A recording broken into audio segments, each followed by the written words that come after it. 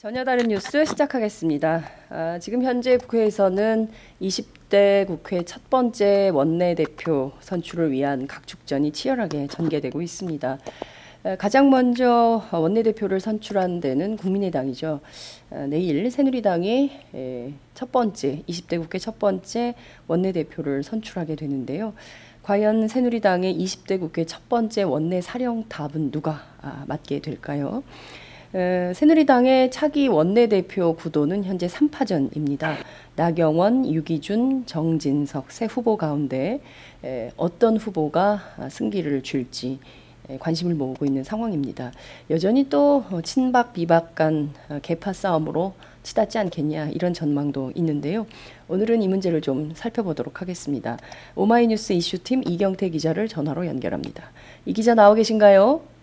네, 이경태입니다. 네, 새누리당 원내대표 구도가 3파전으로 종합이 됐는데 나경원, 유기준, 정진석 세 후보가 각각 3파전을 벌이고 있습니다. 후보별로 좀 지금 뭐 어떤 입장, 어떤 공약을 좀 내세우고 있나요? 네, 세 후보 모두 당세신과 개파 청, 개파 정치 청산 협치를 앞세우고 있습니다. 20대 총선 참패로 형성된 여소야대 국면에 따른 결과라고 할 수 있는데요. 네. 그만큼 뭐 각각의 후보가 구체적으로 뭐가 다르다는 네. 그런 차별성은 크게 부각되지 않고 있습니다. 어, 굳이 주요 공약을 좀 따져보자면요. 나경원 후보는 상임위 중심주의, 음. 의회총, 의원총회 결정권 강화, 네. 뭐 정진석 후보는 고위 당정청 해동 정례화, 여야정 정책협의회 상시 가동, 유기준 후보는 뭐 정무장관직 신설 또는 정무수석 기능 강화, 정책조정위원회 토론 개방 뭐 이런 거를 걸고 있습니다. 음, 그렇군요. 다른 거 다 떠나서 유기준 후보의 경우에 이제 친박인데 정무장관직 신설이라는 게 어떤 건가요? 이게 그 원내 안에 정무장관직을 신설한다는 겁니까? 아니면은 그 정부에 이걸 건의한다는 뜻입니까? 정부에 건의한다는 뜻이겠죠. 아. 그동안 뭐 당청 관계가 상당히 소통이 안 된다, 음흠. 불통이 있다, 뭐 이런 얘기들이 나오면서 이 정무장관직에 대한 이야기는 뭐 김성 대표 체제가 출범했던 그때 당시에도 많이 나왔던 부분입니다. 그러니까 음. 청와대에 지금 현재 현기한 정무수석이 있지 않습니까? 네네. 이 수석급이 아니라 장관직으로 좀 올려서 음. 주되게 좀 이 국회와 소통하는 모습. 네. 특히 여당과 청와대가 좀 보폭을 맞추는 음. 그런 기능을 좀 강화하겠다 이런 뜻이 음. 있는 거죠. 그렇군요. 이명박 정부 당시에 에, 이재호 장관이 했던 그런 역할이 필요하다 이런 주장인 것 같은데 수석을 장관으로 바꾼다고 해서 소통이 잘 된다 이런 보장이 있을까요? 어떻게 보십니까? 물론 그런 가능성은 뭐 장, 자리가 바뀐다고 해서 네. 어떤 위상의 차이가 있을 수는 있으나 지금 현재 그동안 박근혜 대통령의 어떤 국정 스타일을 봤을 때 네. 이게 뭐 특별하게 변화가 있을 것이다. 이렇게 보기엔 좀 힘들지 않을까 싶습니다. 그렇군요. 어, 나경원 후보는 어, 상임위 중심주의를 확대하겠다. 그리고 소통을 굉장히 강조한 것 같고요. 정진석 후보의 경우에는 고위 당정청 회의를 통해서 소통 뭐 다들 이제 새 후보 모두 소통을 좀 강화하고 나섰지만 이 지역별로 보면 수도권, 영남, 충청 이렇게 나눠지는 것 같아요. 어, 새누리당 원내대표 선거에서 뭐 이번에 어떤 게 가장 최대 쟁점이 될 걸로 보이십니까? 뭐 별로 차별화되는 정책이 있다거나 이런 건 아니고 어, 또 지역별로 네. 나눠져 있고 뭐 개파 청산 다 주장하고 있고 뭐 이런 건데요. 네, 말씀대로 뭐 서울의 나경원 그리고 네. PK의 유기준, 충청의 정진석 뭐 이렇게 나뉠 수 있거든요. 네네. 다만 그 새누리당은 더민주와는 좀 다르게 정책위 의장을 원내대표의 러닝메이트로 선출합니다. 음. 그래서 이 원내대표와 정책위 의장의 조합이 굉장히 중요한데요. 네. 이 지금 현재 세 후보들은 이 조합을 통해서 음. 지역별로 어떤 약점을 좀 커버했다 할 수 있습니다. 예를 들어서 나경원 후보는 경남의 김재경 의원을 선택했고 있고요. 네. 정진석 후보는 경북의 김강림 의원을 선택했습니다. 음. 유기준 의원은 충청의 이명수 의원을 선택했는데요. 네. 결국에는 어떻게 보자면 각자가 서로에게 부족한 어떤 지역별 안배를 정책 위장을 음. 통해서 그 보완을 했고요. 네. 이렇게 되다 보니까 사실 뭐 지역별 차이는 그다지 중요한 쟁점은 아니고 음. 결국에는 그 각 후보의 개파적 성격 뭐 음. 이런 쪽으로 좀 봐야 될 것 같아요. 음. 비박의 나경원, 비박이지만 음. 중립 성향인 정진석, 음. 그리고 탈계파를 말했지만 결국은 친박인 유기준, 뭐 이렇게 나뉘어져 음. 있다. 음. 그래서 어느 후보가 선택되느냐에 따라서 뭐 향후 당내의 어떤 책체가 어떻게 변화할 것인가가 좀 주목된다 이렇게 볼 수 있을 것 같습니다. 자, 지금 말씀해 주신 내용을 좀 종합을 해보면 결국 지금 뭐 구조조정 한파 속에서 국민들의 민생은 날로 살기 어려워지고 그리고 저 구조조정의 태풍이 언제 나한테 올지 모른다 이런 불안감 속에 국민들은 살고 있는데 지금 새누리당 어 그러니까 어쨌든 박근혜 정부를 만든 새누리당의 경우에는 청와대하고의 관계를 어떻게 정립할 건가 그리고 당내에서 개파 문제를 어떻게 할 건가 오로지 여기에만 골몰하고 있다 이런 인상을 받게 됩니다. 물론 이 그렇게 볼 수도 있는 문제인데요. 이 여당이라는 게 아무래도 당청 관계가 어떻게 정립되느냐에 따라서 향후 뭐 야당과의 협상이라든가 음흠. 그리고 어떤 당에서의 그 주도적인 목소리가 나올 수 있는가가 굉장히 중요한 문제거든요. 네. 예를 들면은 그 유승민 원내대표 체제를 좀 생각해 보시면 될 것 같습니다. 과거에 음. 뭐 이항구, 최경환 체제와 다르게 네. 유승민 원내대표 체제에서는 청와대가 좀 그 민심과 동떨어진 그리고 음. 당으로서 좀 더 민감하게 반응할 수 있는 문제에 대해서는 네. 좀 저항 저항하거나 뭐 이런 식의 행동들을 그랬죠. 보여왔거든요. 그렇기 때문에 어느 어떤 성향의 원내대표 체제가 서느냐 여기에 음. 따라서 이 야당과의 관계도 결정될 것이고 음. 향후 어떤 음, 구조조정 이슈라든가 여러 가지 민감한 이슈들을 다룬 데 있어서 국회가 위에 서서 어떤 음. 청와대를 견인할 것인가 음. 이런 결론들이 나오기 때문에 이, 뭐 상당히 뭐 부정적으로 볼 만한 볼 만한 일은 아니고 네. 앞으로의 어떤 정치적인 그 국면이 갈리는 하나의 성격이다 뭐 이렇게 보셔도 무방할 음. 것 같습니다. 그렇군요. 제일 중요한 게 그러면 당청 관계를 잘 풀어나갈 수 있는 그런 능력이 있는 후보가 가장 경쟁력이 있다 이렇게 봐야 될까요? 각 후보마다 어떤 경쟁력, 어떤 장점이 있다고 봐야 될까요?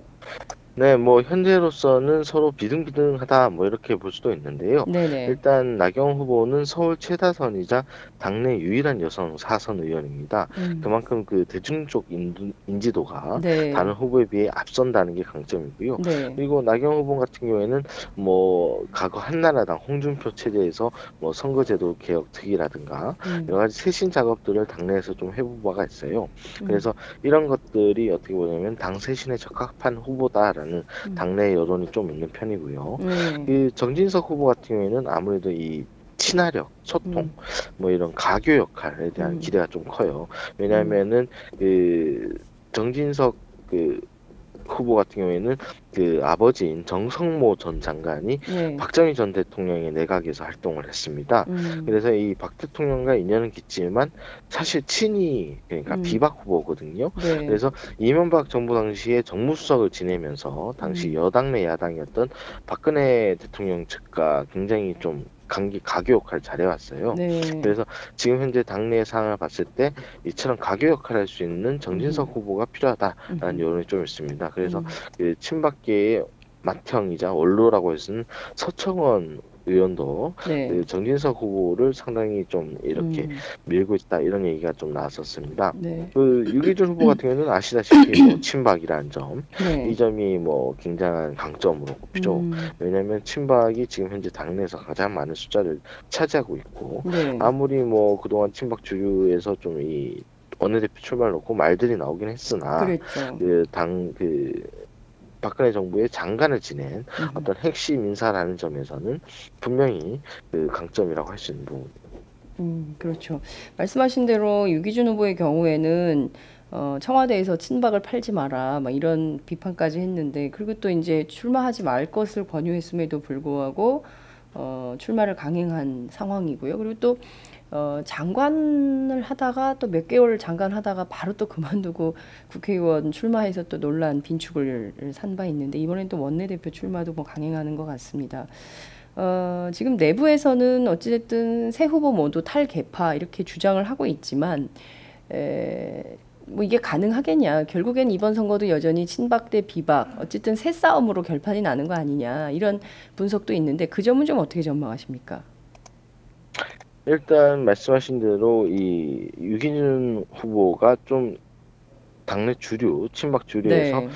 단 만류를 했는데도 불구하고 지금 현재 원내대표 출마를 강행했습니다. 네. 그러면서도 뭐 탈계파를 공견은 얘기했지만 네. 그렇다고 해서 뭐 자기가 이 친박 탈박을 얘기하는 건 아니다. 뭐 이런 변명도 했거든요. 탈계파를 그... 얘기하지만 나는 탈박은 아니다. 아, 예, 예, 예. 그렇게 얘기를 네, 했거든요. 네, 네. 예, 뭐 이런 상황은 사실 어떻게 보자면 선거 참패 후 볼수 음. 있는 어떤 당 주류의 어떤 분화 과정이 음. 아닐까라는 생각이 좀 들어요. 네. 예를 들어서 뭐 2011년 그러니까 이명박 정부 때죠. 음. 그 그때 원내 대표 경선 때 황우여 네. 그러니까 지금은 낙선한 황우여 전 대표가 그 원내 대표로 당선된 적이 있는데 네. 그때가 네. 바로 그 권력이 갈렸다 뭐 이런 게 음.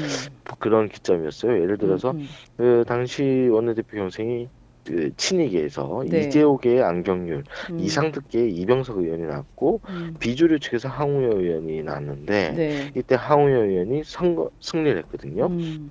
이게 그 비주류 와그 비주류라고 얘기한다면 친박과 소장파라고 할 수 있습니다. 그때 당시에 그런 친박과 소장파의 선택 반란이 먹혀들면서 네. 그 당청 관계의 권력 구도가 바뀌어 버렸어요.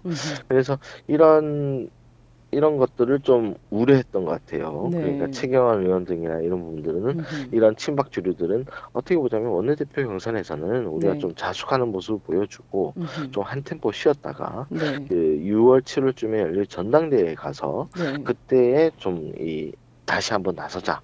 뭐 음. 이런 한 박자 쉬고 음. 그 일보 전진을 위한 어떤 이보 후퇴 뭐 이런 전략을 세우는 건데 유기준 후보가 여기에 말을 듣지 않은 거죠. 그리고 네. 뭐 청와대 내에서도 조중동을 통해서 뭐 음. 자신들의 의중을 흘렸으나 네. 유기준 후보가 결과적으로 안 됐고 그러다 보니까 아무래도 친박 내부에서도 좀 유기준 후보가 너무 욕심을 내세운 거 아니냐 네. 얘기들이 있습니다. 음. 그이 이런 여론들이 어떻게 작용할 것인지 그걸 좀 봐야 되는데 실제로 제가 앞서 말씀드렸죠 서청원 의원이 정진석 후보를 지원하고 있다. 네. 그래서 이 어떻게 보자면 친박이 그 소통 그 나경 후보보다는 음흠. 조금 더 그 대안제가 될 수 있는 음흠. 정진석 후보에게 표를 몰아주는 결과가 나올 수도 있다. 아, 뭐 그래. 이런 생각을 좀 해봅니다. 그러나 음. 이 공견연하게 이미 뭐 친박이 또 누구를 민다 이런 음. 게 나오면은 음. 이게 반대로 역풍이 불 수도 있거든요. 아. 그렇기 때문에 이런 상황에서는 좀 양강 구도가 형성됐다. 음. 서청원 아, 저기 정진석과 나경원 후보 음. 간에 음.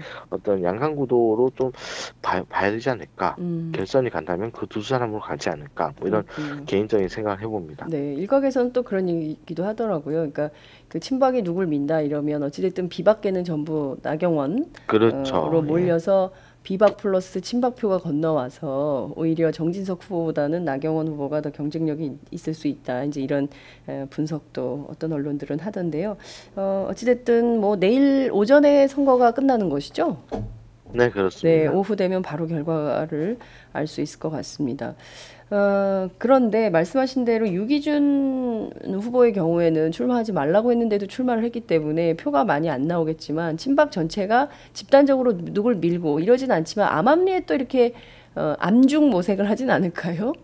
서청원 의원이 저렇게 대놓고 얘기해서 오히려 또 이게 반감되는 효과가 있는 건 아닌지 모르겠네요. 그렇습니다. 뭐 지금 현재 친박의 표심이 어디로 가느냐, 네.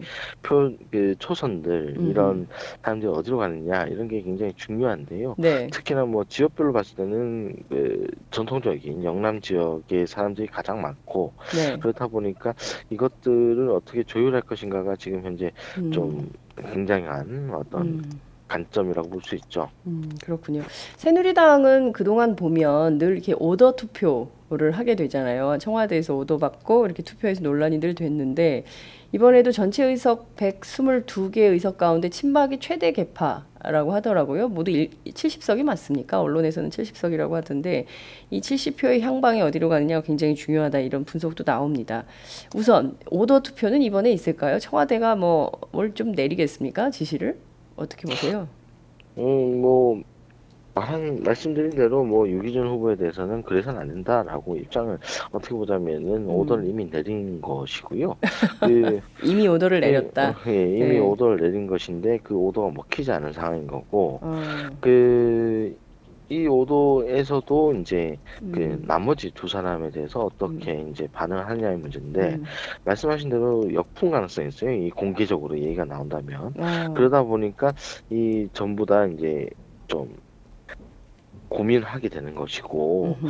그 사실 저는 좀 김강림 네네. 음. 경북의 어떤 김강림 의원이 왜 정진석을 택했느냐 음흠. 뭐 이런 것들이 좀 음. 주목이 돼요. 왜냐면은 네. 이 사실 정책위의장으로 다운 사람들이 다 처음에는 원내대표 후보군으로 불렸던 사람들입니다. 음흠. 그랬다가 이제 어떻게 보자면 정리를 한 셈인데 네. 특히나 김강림 의원 같은 경우에는 나경원 의원과 정진석 후보가 전부 다 그 김강림 의원에게 러브콜을 던졌어요. 네. 그러니까 나경원 의원은 김강림 의원을 한 네다섯 차례나 만나서 이 사, 삼고초를 했는데 네. 결국에는 정진석 후보를 택했단 말이죠. 네. 근데 이런 걸 봤을 때는 어떻게 보면은 당심이 좀 이렇게 음. 흘러가고 있지 않나라는 음. 생각을 좀 하고요. 네. 여기에 대해서 이제 만약에 청와대가 음. 노골적으로 진짜 아까 전에 그 정선 기자 말씀하신 대로 음. 그 청와대의 어떤 노골적인 뜻이 드러난다면 네. 이 역풍이 불 수 있기 때문에 청와대가 음. 당분간 좀 조용히 하고 있을 것이다. 음. 사실 뭐 제가 봤을 때도 청와대 입장에서는 나경원 후보보다는 음. 저 정진석 후보가 낫거든요. 왜냐하면 음. 나경원 후보 쪽은 그 정책위의장이 김재경 네. 의원입니다. 이 네. 김재경 의원도 사실 비박 성향이에요. 그러니까 음. 비박 비박인 어떤 원내대표 조합군보다는 네. 이 적어도 비박 간의 어떤 가교 역할을 할 수 있는 음흠. 정진석 후보가 청와대 입장에서는 좀 입맛에 맞지 않나 아. 뭐 이런 생각 좀 해봐요. 네. 그렇군요.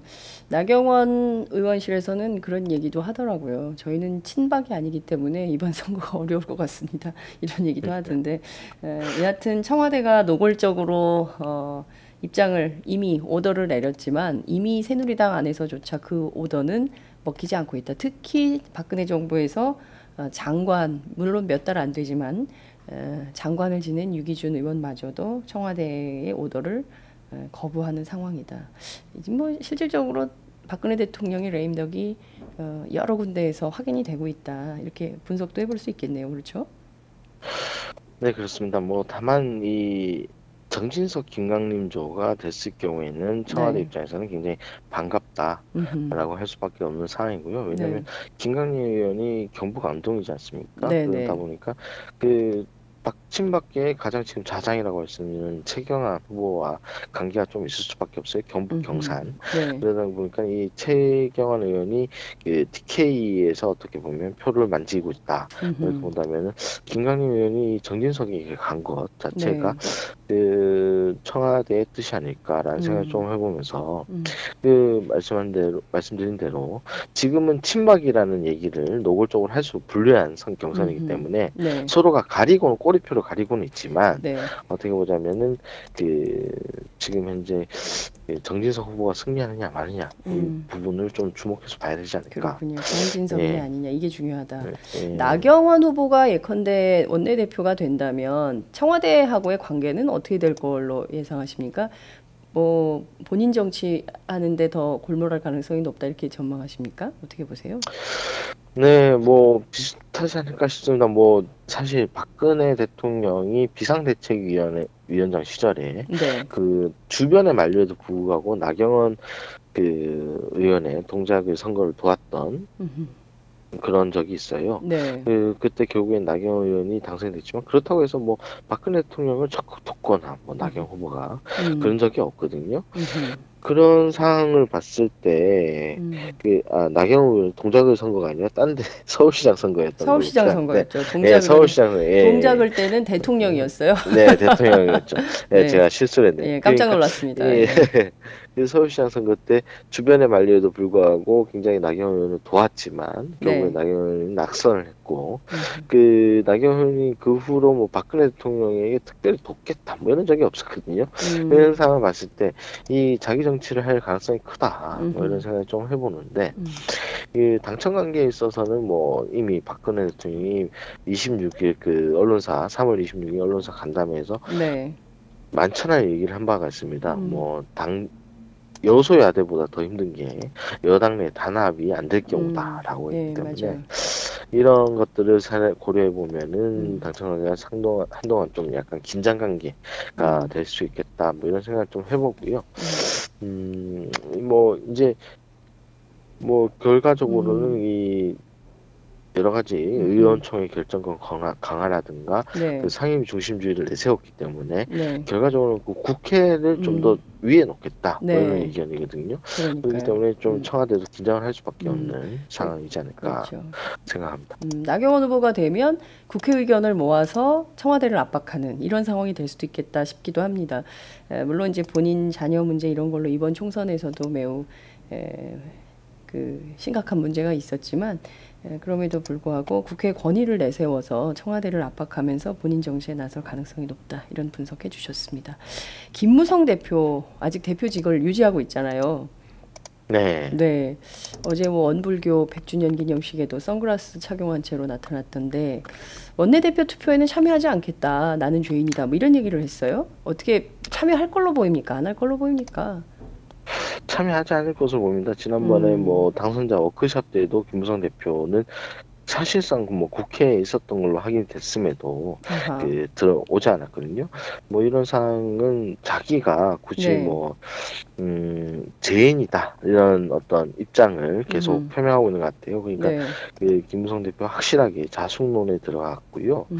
그래서 이 원내대표 경선에 참여하지 않을 것이다라는 음. 생각이 듭니다. 그렇군요. 김무성 대표계로 불리는 의원들의 선택, 영향력 이런 건 좀 있겠습니까? 어떻게 전망하세요? 이 사실 뭐 김성계라고 한다면은 뭐 지금 현재 아열열 14명 정도 네. 될까요? 14명 당내 14명 정도 당선자가 있어요. 그런데 이 중 상당수가 지금 새누리당 혁신 모임이라는 어떤 소장파 그룹으로 흡수가 되어 있는 상황입니다. 네. 어, 이런 것들은 사실 뭐 이들이 뭐 표가 상당히 뭐 10표가 정 10표 넘는 사람이다 보니까 음. 뭐좀 경선에 영향을 미칠 수 있다라고 보지만 실제로 크게 뭐 갈릴 것인가 뭐 이런 생각이 좀 들어요. 그러니까 음. 이 나머지 비박들이랑 힘을 합쳐도 모자른 네. 상황이거든요. 그러다 보니까 네, 김우성 대표가 특별하게 오더를 낼 것 같지는 않고요. 음. 여기 상황에서 이제 어떤 후보가 좀더 음. 그 좀 더 당청 관계 재정립에 힘을 실을 수 있을 것인가 이런 것을 좀 보고 움직이지 않을까라는 음. 생각을 해봅니다. 네, 알겠습니다. 뭐 내일 어, 결과가 나올 텐데요. 어떻게 될지 그리고 어, 결과가 나오면 이후에 전국 전망도 부탁을 좀 드리겠습니다. 오늘 말씀 잘 들었습니다. 네, 감사합니다. 네, 지금까지 오마이뉴스 이슈팀 이경태 기자와 함께했습니다.